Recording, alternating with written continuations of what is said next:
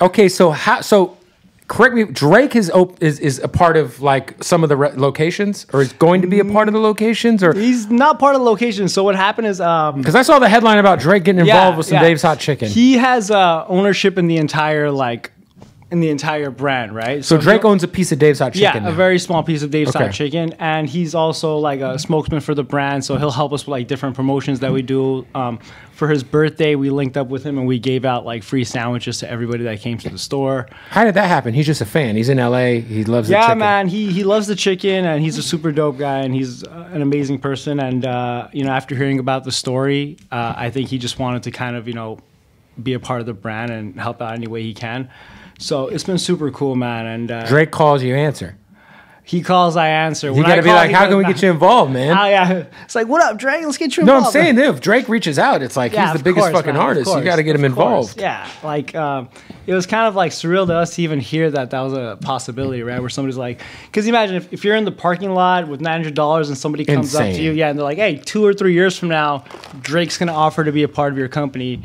You're gonna be like, It's all right, crazy. dude, like order your food and get out. You know what I mean? Like, you're not gonna believe them, but you know, it's it's wild. I mean, look, you guys are definitely on your way to being like the next big franchise. 700 locations already in the works. Yeah, I, I think they said we're one of the fastest growing chains in, in like US in America. history. Yeah, The US food is amazing. Well, no, I mean, it's been five years since you were in a parking lot. Yeah, and That shit's crazy. yeah. I didn't realize that. I thought you guys were at least around like I was like, oh, maybe it was like a LA thing for like 10 years, and now it's finally like no, five years, dude. Yeah, dude, it's it was, Happened overnight. yeah, it was like an overnight thing. Sometimes it's still surreal to us, you know.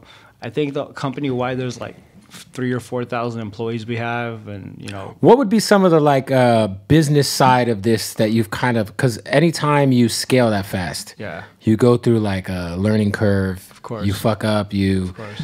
Adjust, you get it together. What are some of the things that you learned on, uh, you know, for anybody who's an up and coming business person or an up and coming restaurant owner? Uh, what are some of the things that you kind of had to learn on the fly, Hmm. or some of the mistakes that you made that you guys kind of yeah. you, wanna know, go, you go first? you guys can kind of share to kind of, you know, because a lot, a lot of people might be watching this who have a food truck. Yeah, yeah. You know, who might want to scale and get a brick and mortar yeah, or. yeah. I don't know, bro. Uh, I I mean, I would definitely say uh, partners are very important. You know, I think a lot of entrepreneurs, when they start a business, they're afraid to bring in other partners Mm-hmm. because there's this fear that somebody's going to come over and take over your business and you're going to lose percentage and things like that.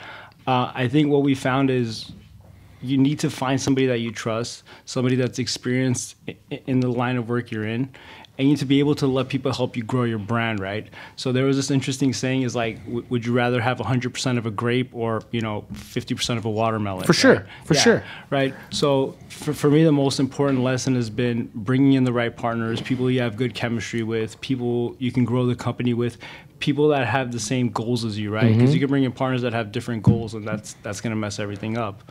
So for me, the biggest thing is as a business owner, it's okay to bring in partners. It's okay to partner up with people that are big in the line of work you're in that can help you out. Yeah, I think that that's something like you said. I think that's some pride shit. I think at times, you know, especially in the music industry, people are always like, Yeah. it's like, dude, partnering with the right people. If you can make a billion dollars, but you know, it's like it's like most people would rather make a million dollars and say they own their Yeah. everything than make like five hundred million and Yeah, say it's that- interesting. It's know. like dude, to me, it's like, and there's just like things like, oh yeah, well they want to work with you to make money, but it's like, well that's obvious, dude. This is business. People are in business to make money. You Mm-hmm. know, people get in a business with you to make money. If you're gonna be at that mindset, well, like yeah, people just want to make. Well, obviously, dude. But the thing is, you want to make money together, right? Right. You, you so you partner up and you, You gotta make help money. each other, Yeah, know? man. It has to be. You gotta more- bring in expertise that like I can't do. personally. Yeah. yeah, I think that franchise model is like a Partner up whole like that's a whole new world. That's like a world that I'm sure is like Yeah, man, because it's it's I mean, because there's this thing about it is like right when you're like you feel this sense of ownership to the brand because you're a founder, you started it, right? And then a franchisee is a person that believed in your brand enough to, you know, we're doing 10 store deals minimum. By the time they invest in these 10 stores, each store is a, you know, let's say $700,000 build out. They're so anybody who wants to start with y'all, they got to commit to ten. it's about a 10 store commitment yeah Oh, wow, yeah. so they need to be experienced enough to handle those 10 stores right Yeah. and by the time they open those 10 stores, they've invested so much money into your brand that now they feel a sense of ownership where they also feel like, hey, this is my idea. I feel like you guys should do this. So you also have to find, again, this balance of this is not just my brand anymore. You know, mm-hmm. I have franchisees that have invested as much time and money as I have into this brand. It's that, yeah, it's their brand too. Yeah, and I they gotta own res- ten locations. Yeah, and I have to respect their opinion because they're also living off of this brand. So if I don't listen to what they have to say and I just run it however we want and they're not happy, it's not going to keep expanding, right? So it's all like this balancing act. It's all about like um, you know, understanding the people around you and making sure like everybody can win. Who's been outside of Drake? Obviously, who's who you think is like your guys' is like most famous fan? Drake aside, because we know Drake's Man. an owner now. But like, who do you guys know is just always just getting chicken? Well- whether it's delivered to the studio or an athlete or We have a lot of uh, actually a couple of our investors are Samuel L. Jackson's one of our investors also. So Samuel L. Jackson owns a little bit uh, also of Dave's Hot Chicken. so Uh, it's, uh, it's Dave's it's Dave's hot motherfucking chicken. I, dude, I, I keep saying he needs to make our training videos. Just come up has there like, like, I want these motherfucking tenders.